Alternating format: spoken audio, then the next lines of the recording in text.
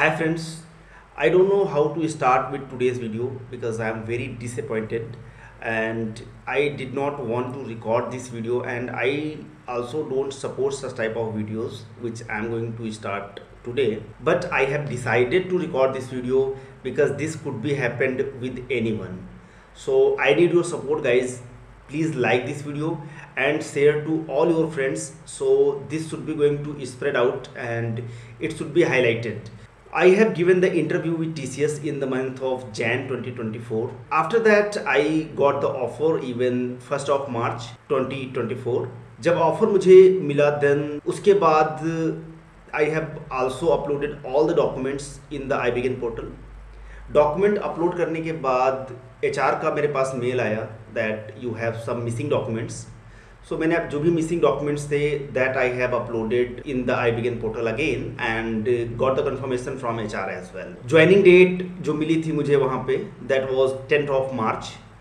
but joining से तीन दिन पहले मेरे पास एच आर का कॉल आया and HR was saying that you are not eligible to join TCS because your background verification has been failed. फिर मैंने HR से पूछा, what is the reason behind it? Then H R was saying like जिस university से तुमने अपनी graduation complete की है that is coming in something in in the D D A list I don't know about the D D A list it may be something list is having you know like black listing the universities actually जिस university से मैंने graduation complete की है तो उस same university से बहुत सारे मेरे फ्रेंड्स ने ग्रेजुएशन कंप्लीट की है even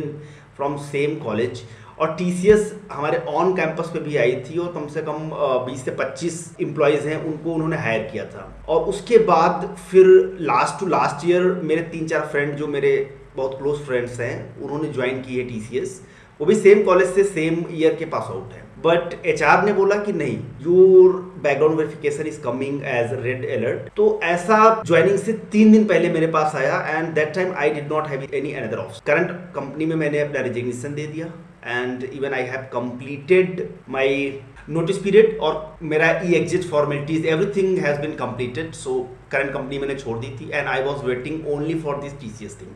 I had another option as well, but I have decided to go with TCS. So other options को भी मैंने मना कर दिया था कि अब मुझे TCS ही जाना है then why should others wait for me? तो मैंने उनको भी मना कर दिया कि I am not able to join your organisation such type of things I have already done तो उसके बाद फिर टीसीएस का जब तीन दिन पहले मेरे पास कॉल आया उस समय मेरे पास कोई ऑप्शन नहीं था अब I was shock and I was jobless that time and even I don't have any another option अब यहाँ पे हो सकता है कुछ बंदों के साथ हैपेंड हो और वो बंदे डिप्रेशन में चले जाएँ या कुछ भी हो सकता है scenario I am also giving you all the proof as well here you can see like my joining everything if you can go here like offer and day one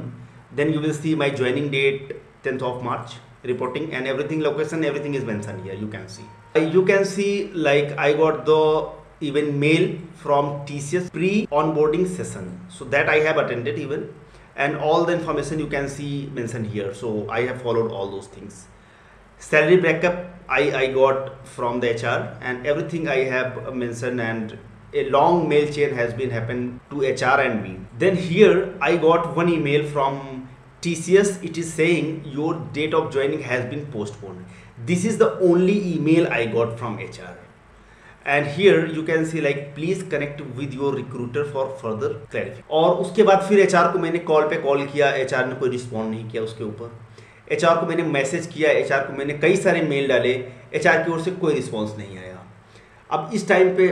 joining से तीन दिन पहले आपके पास कोई ऑप्शन नहीं हो और आपको टी मना कर दे ऐसे सिनारियों में तो आप लोग बताइए guys you can comment out in this video and you can tell me what should we do on those scenarios मैंने उनको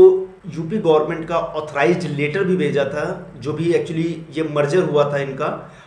Let me show you that letter as well over here so this is the letter I have sent to the recruiter and the H R